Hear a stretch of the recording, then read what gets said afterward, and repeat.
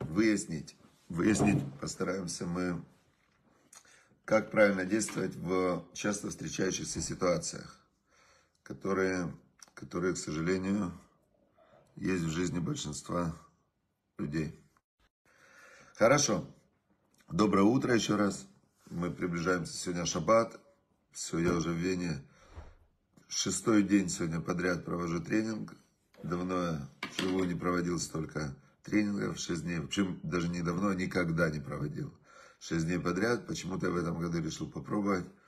Вот, шесть дней это достаточно такое тяжелое. Подряд шесть дней проводить обучение. Никогда, кстати, интересно. Вот сейчас у меня сразу настроение улучшилось резко. И сегодня установил свой рекорд.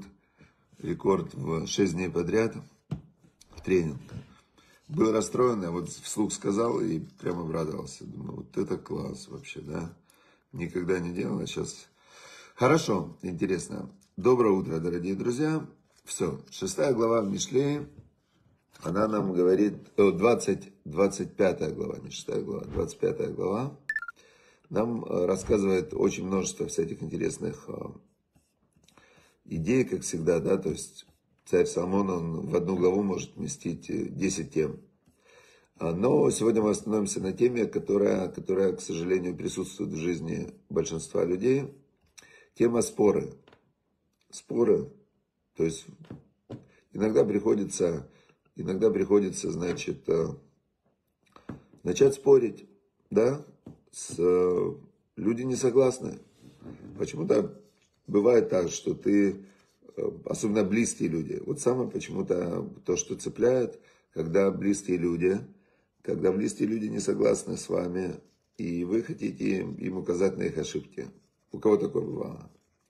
Ты, значит, думаешь, вот сейчас укажу близкому человеку на ошибку, он, естественно, исправится, и, значит, э, заживем. Говорит царь Соломон следующую вещь. И они близкие. Не близкие, они что же ошибаются? Еще больше, чем близкие. И ты думаешь, вот сейчас, э, значит, укажу ему на его ошибку. И он, значит, исправится. В итоге, если вы посчитаете, возьмете статистику, если вы возьмете статистику, если, если вы вспомните все свои, все свои последние попытки исправить кого-то, то вы придете к такому же выводу, как царь Соломон. Прям вы жизнью подтвердите то, что он здесь написал. 25 глава, 8 отрывок, он сказал так. Альте целя ривмаер. Не, не начинай, не выходи на ссору быстро. Да? То есть, что имеется в виду? Человека, как он начинает ссориться? Его вот зацепило. И он такой, все. Царь Соломон говорит, стоп, Альтицель Ривер Майер. Не выходи ссориться быстро, не спеши. Он говорит, не спеши. Равицкая Зильвер, кстати, Зихрана Верха, садик, праведник, упомянутый добром, отлично мне, он как бы каждому человеку, он что-то свое э, говорил, что ему надо, на что обратить внимание. И мне он говорил всегда, вот прям, я помню, это самое у меня с ним связанное, такой совет, не спеши. Вот прям не спеши, не надо спешить прям меня вот так за руку брал. Главное, не спеши. Потому что я очень человек такой, был раньше, вообще я был такой быстрый, вообще меня только, только вот кто-то не так посмотрел, все, не человека. Прям, когда я в спорт-интернате учился, я сразу, я спринтер был, король старта. То есть я 110 метров с барьерами бегал, на старт, внимание, пружина. И вот так вот кто-то мне слово скажет, я пружина. Он говорит, нет, ты что, ни в коем случае. Значит, не спеши ссориться быстро. Может быть, и дальше царь Соломон объясняет. Пен, может быть, мата асе бахарита. Что ты будешь впоследствии это делать? Да? Беаклим отха реха. Когда будет э, позорить тебя ближний твой.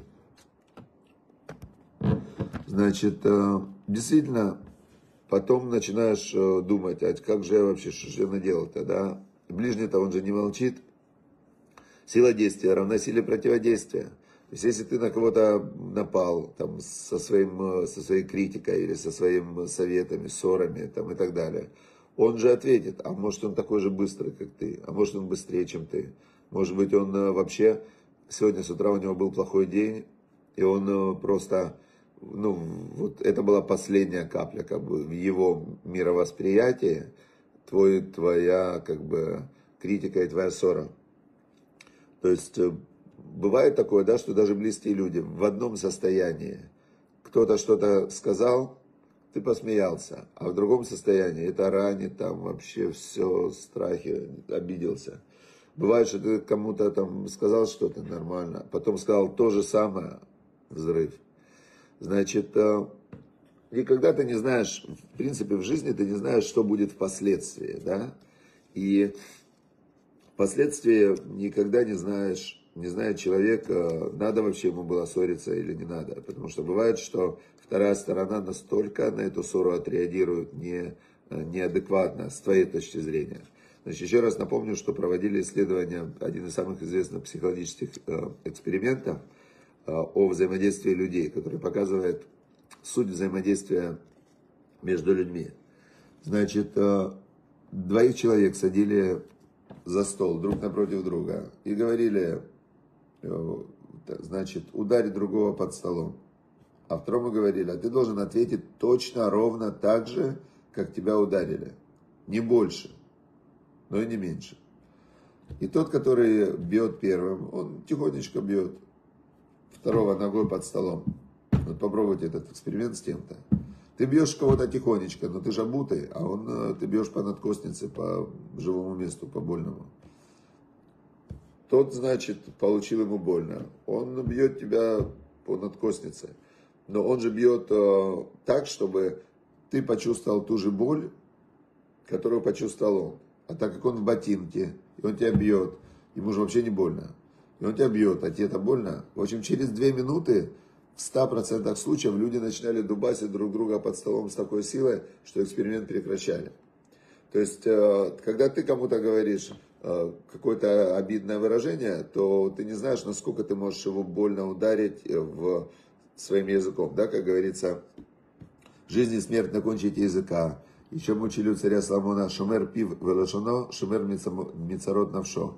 Тот, кто сохраняет свой рот и язык, сохраняет тут неприятности от страданий свою душу.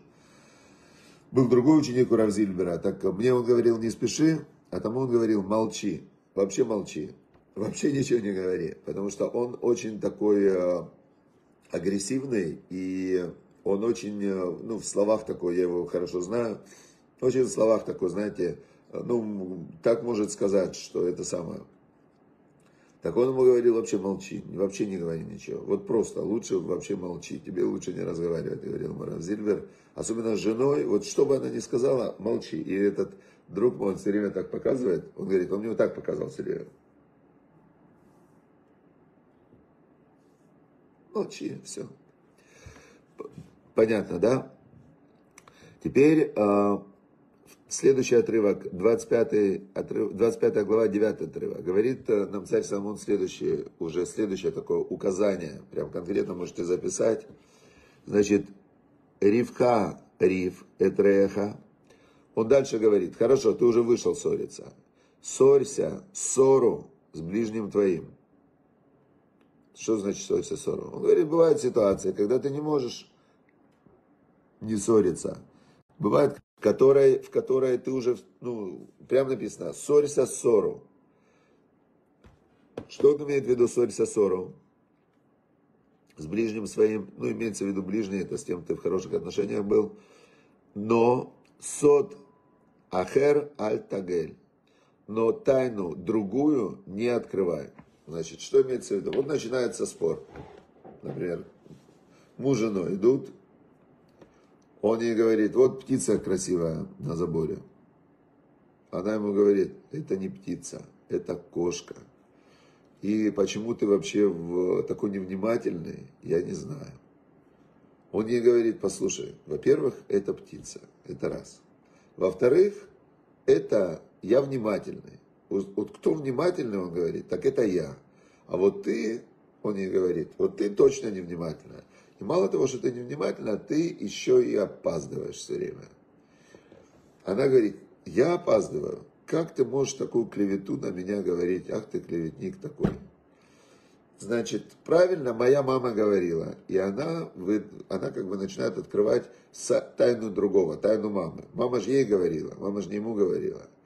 И какое имеет отношение то, что мама говорила, к тому, что он сказал, что это птица на заборе. Но она открыла тайну.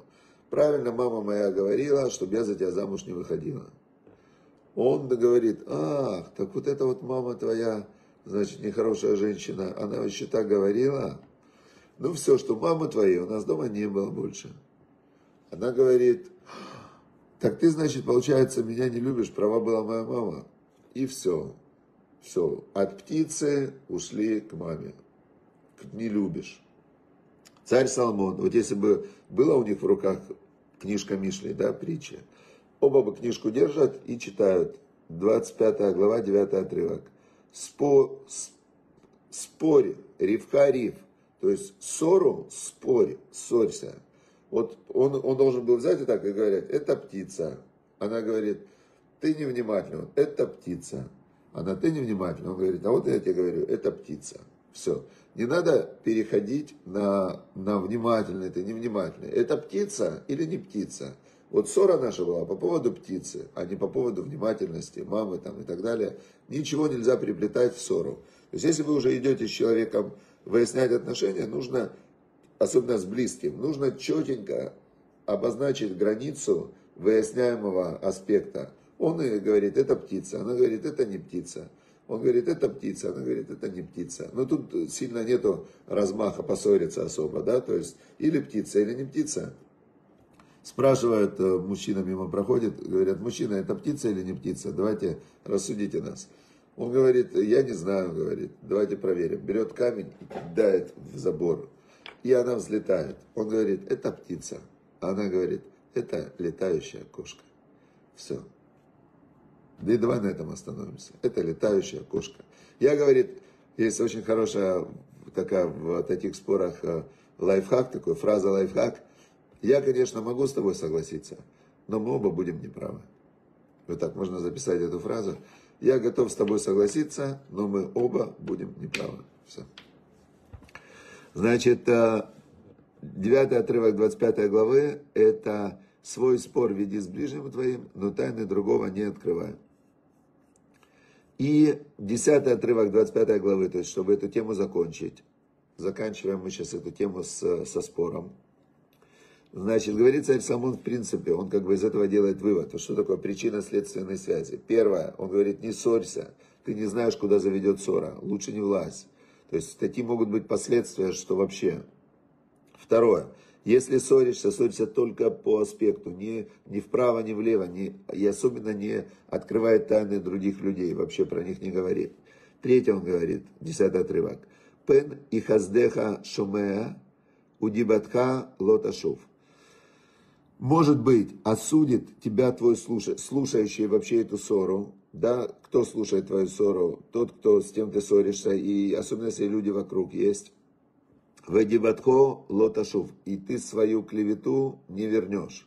То есть вот это то, что ты про маму сказал, про там не маму сказал, уже ты слово не воробей вылетит, не поймаешь, ты уже сказал, кто-то услышал, кому-то передал, в пылу спора люди такие вещи говорят, что потом жалеют о них.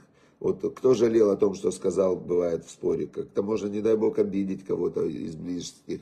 Детей можно обидеть. Я один раз э, поссорился, и ну, просто в гневе я там сына обидел. Вообще очень я ну, очень жалею о том, что я сказал, сказал какие-то слова там его, ну, обидел, как бы, знаете, в полу спора человек что делает? У каждого из нас есть проявления.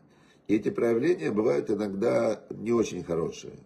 Но проявление не значит, что я такой. То есть в споре человек отождествляет проявление с собой. Например, ты ленивый. Он может другому сказать. Это неправда. Ленивый, ты не можешь поставить клеймо на человека. Он иногда ленится, иногда не ленится.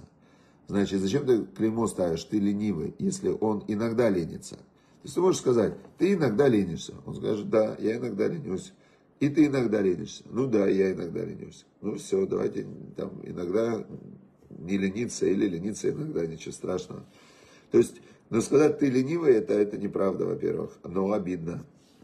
Ну и так далее. То есть, когда человек в пылу спора, особенно он входит в эмоциональную какую-то свою яму, там, или, то все, он может такого наговорить, что потом жалеет. И мало этого, тот, с кем он спорит, ссорится, это один аспект, а окружающие, которые скажут, это человек скандальный, с ним вообще нельзя иметь дело, это другой аспект. Поэтому лучше использовать совет Рава Зильбера. Какой совет он говорил? Не спеши ссориться, убегай. Убегай, успокойся, подыши, подумай, там вообще ничего не говори. Значит, э, вы скажете, а вот э, что, пропускать с этой штуки? Смотри, ты можешь не пропускать, но вопрос, э, ты ж ссоришься, чтобы тебе лучше жить было. То есть ты можешь из-за маленькой какой-то вещи, а дойти до такого, что потом неделя в больнице. Так ты за что ты хочешь? Ты хочешь хорошо жить или быть правым? Знаете, есть такое, что один э, человек дорогу решил переходить на зеленый свет. И едет машина. Он говорит, нет, я, я прав, значит, я буду идти. Ему говорят, куда ты идешь? Ты хочешь быть прав, правым или живым? Он говорит, нет, я должен быть прав. И пошел его сбила машина. Так лучше быть правым, лучше быть э, живым, чем правым. Понятно? То есть это как бы логичная вещь. Ну, хотя некоторые думают иначе, некоторые готовы э, ради принципов своих умирать, теперь некоторые готовы ради чужих принципов умирать. Но это, это очень, мне кажется, не, не, не так, как Шлома Мелых нам бы посоветовал. Хорошо, и кусочек, сейчас у нас суббота наступает, с Божьей помощью сегодня вечером. Недельная глава Киты когда выйдешь ты на Милхаму, когда выйдешь ты на войну, и увидишь ты женщину там красивую видом. И, значит, э, дает Всевышний нам э, дает нам э, некий порядок действий, как должен был действовать воин в армии, когда он увидел девушку, женщину, которая, э, которая пленница, как э, очень красивая, как себя вести. Значит, Бог говорит так, что я не могу, ну, то есть было бы, если бы я сказал, не трогай ее, это было бы, это было бы сверх сил человека, Потому что я же сам знаю, какое злое начало внутри человека, какое у него животное начало. И в войне тот, кто только что воевал, победил, там, дрался, у него адреналин, у него то, у него все, у него, э, ну, то есть он все равно, значит, э, ее увидит, и у него, он находится сейчас в ситуации, значит, бей, беги, замри, в ситуации, когда им управляет инстинкт. Он не сможет в этот момент остановиться. Это как бы Всевышний знает. Поэтому он дал в Торе разрешение эту, на эту девушку взять ее в жены. Хотя, в принципе, не надо было бы и не следовало бы, и вообще запрещено. Но Всевышний понимает, что есть ситуации, в которых человек не может собой управлять. Поэтому он дал ему разрешение на ней жениться. Но Всевышний установил порядок действий в такой ситуации, что нужно ее взять на 30 дней себе домой – Дома она должна сидеть, оплакивать папу и маму, потому что она пришла из другого народа, другие обычаи. Нужно ее поставить в какой-то, чтобы она была в платье, в таком э, мешковина, чтобы ее нужно побрить на лысо, чтобы сбрить с нее волосы, чтобы, наверное, вшение было и так далее. Но и вид у нее тоже чуть изменится. И только через 30 дней, через 30 дней можно ее, э, можно будет на ней жениться. Но уже потом, она уже в статусе жены, а не пленницы, и, а, значит, уже нельзя будет ее не продать, неплохо к ней относиться, то есть ты уже все, женился, женился, уже как бы все. Теперь в, это, это первый отрывок. Дальше идет второй отрывок сразу. И если у человека будет две жены, одна любимая, вторая нелюбимая. Понятно, что если будет две жены, одна будет любимая, вторая нелюбимая, потому что, ну, как бы равноценно имеется в виду не то, что нелюбимая совсем, она будет меньше любимая, чем другая. И будет она по-любому думать, что она ненавидимая. То есть там поэтому используется такое слово, что одна ова, одна любимая, вторая ненавидимая. Потому что она скажет ему мужу, она ему не скажет, ты меня любишь меньше, чем другую. Он скажет, ты меня ненавидишь, она ему скажет. То есть Всевышний предупреждает, что она вынесет тебе мозг. То есть в любом случае одна из них будет, э, а может и две скажут, э, ты меня ненавидишь, потому что они, когда две, а им каждая кажется, что им не додают. И, значит, э, будет у тебя, то есть это как бы Всевышний устанавливает факт, что будет одна любимая, одна ненавидимая. Хорошо, значит, и родятся же у них дети. Все, а дети от одной жены, от другой жены, они в роди. У братья Иосифа продали, да, то есть это великого Якова, Израиля, у него было четыре жены, от каждой жены одна была любимая, одна ненавидимая, одна плакала все время, вторая Рахель была его жена. И что, братья продали сына Рахели, любимой жены Иосифа, они его хотели убить вообще и продали. Всевышний предупреждает, смотри, что будут у них дети же потом. И вот этот Санта-Барбара, который ты затеваешь, она может плохо закончиться. Значит, и будут э, дети у ненавидимой, допустим, они будут старше, ты ему должен дать двойную дозу наследства, двойную как бы по Торе. Старший сын получает двойную долю наследства, а остальные получают одинарные доли. Он первенец, значит, у него есть преимущество. И будет первенец от нелюбимой. И он будет считать, что он должен получить двойную порцию наследства. Подумай об этом. Как бы это второй отрывок идет. Третий отрывок идет, и если будет у человека сын Сорер Море, э, не слушать, сын будет э, обжора, пьяница, будет сын, значит, э, который восстающий против родителей. То есть при воспитании, когда маму ненавидят, ну, как думает мама, она может сыну наговорить с этих гадостей про папу, и про вторую жену, и про вторых детей. И сын может родиться очень травмированный такой. И что говорит Всевышний? Так такого сына лучше вообще убить. Закон Торы, как вообще ребенка, ну там его можно убить только когда ему 12,5 лет, 13. Нет, 13, 13,5, когда он становится совершеннолетним. В общем, не важно 13 или 12, важно то, что в Талмуд говорит, что ни разу за все время приговор этот не был принесен в исполнение. Что это в Торе написано, но, но оно обусловлено, устная Тора обуславливает вот этот вот закон таким количеством а, невыполнимых вообще подробностей, что это, это никогда за всю историю этот, этот закон не был использован и не приведен в исполнение. Талмуд тогда спрашивает, а зачем написано? Во-первых, чтобы дети боялись и слушали своих родителей, учили Тору и боялись, что такое может произойти. Во-вторых, чтобы родители боялись, чтобы мужчины думали, на ком ты женишься, и какие будут потом дети, и какие будут потом последствия. И, значит, э, когда дана нам вот эта вот разворачивающаяся концепция, да, что ты пойдешь за своим инстинктом, ты женишься на неподходящей женщине, начнутся проблемы Санта-Барбара с детьми, с семьей, и потом ребенок может погибнуть. Это то, что было даже у великих, величайших праведников. Царь Давид женился, женился несколько раз на пленницах, у него было шесть жен, из них несколько было пленниц, которых он захватил на войне. Он, царь Давид, хотел выполнить всю Тору, включая вот эту вот очень сомнительную концепцию, что Всевышний здесь разрешил это сделать. Но царь Давид хотел, он шел все время по лезвию бритвы, он был такой воин, духовный воин, и он бах и женился на пленницах. И что? У него родился сын от этой пленницы, Авшалом, который, который пошел на него войной, хотел его убить. И была война между Авшаломом, сыном, сыном царя Давида, от пленницы, которую, который хотел убить отца. И в этой войне царь Давид, он так любил сына своего, он просил своего войска, только его не убивайте.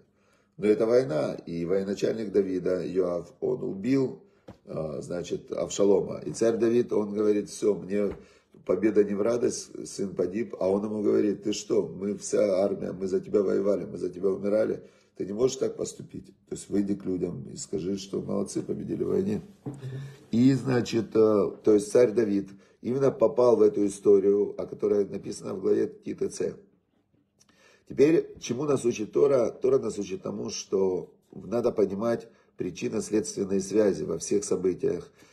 Именно причинно-следственные связи. Ты не знаешь, что будет после, да, как у нас здесь, вернемся к Мишле, написано, что не ссорься, потому что ты не знаешь, что будет в конце. А Всевышний это знает. Он говорит, что ты сделаешь, Бахарита, что ты сделаешь впоследствии, когда он начнет тебя позорить. Всевышний знает. Ты думаешь, что ты сейчас начнешь его там, а, значит, ссориться с ним, а он не начнет, он еще больше начнет. Это знает Всевышний. Ты думаешь, что ты женщ... женишься на красивой женщине, красивой видой, ну, которая, ты с ней познакомился там где-то в непонятно где, в каком месте, непонятно, чем она до тебя занималась а ты думаешь, что потом все будет хорошо, Всевышний говорит, нет, будет нехорошо. Ты думаешь, ты берешь вторую жену там, и будет у тебя как-то жизнь улучшиться. Всевышний говорит, нет. То есть очень важно видеть, как работает мир, и понимать, что внутри есть то животное злое начало, которое является для человека внутренним врагом. И вот это есть главная милхама, в которой мы находимся, главная война. Это война со своим животным внутренним началом. И с Божьей помощью, значит, мы тихонечко, самое лучшее средство, Всевышний говорит, против вот этого зла, инстинктивного начала Тора. Когда ты учишься и заполняешь свою голову божественным светом, когда ты изучаешь правила, по которым устроен этот мир, то в этот момент, конечно же, конечно же, появляется не просто шанс, а появляется явный противовес. Всевышний создал злое начало, и Всевышний создал Тору, которая является как э, приправа тавлин, средство против этого злого начала. И, значит, э, Всевышний создал, Всевышний создал Тору нам для того, чтобы, для того, чтобы мы могли победить в этой вот войне со злым началом. Все, всем шаббат шалом, всем удачи, успехов, чтобы была хорошая суббота, чтобы было полное выздоровление всем выздоравливающим, чтобы уже наступил мир наконец-то, и все больные на голову, которые начинают войны, все они, чтобы выздоровели, выздоровели и поняли, что воевать, захватывать, э, э, убивать это вообще ужасно, и чтобы закончилась война, прям моментально все плохие, нехорошие люди стали хорошими, добрыми, веселыми. Все, всем шаббат шалом, до воскресенья. Счастливо.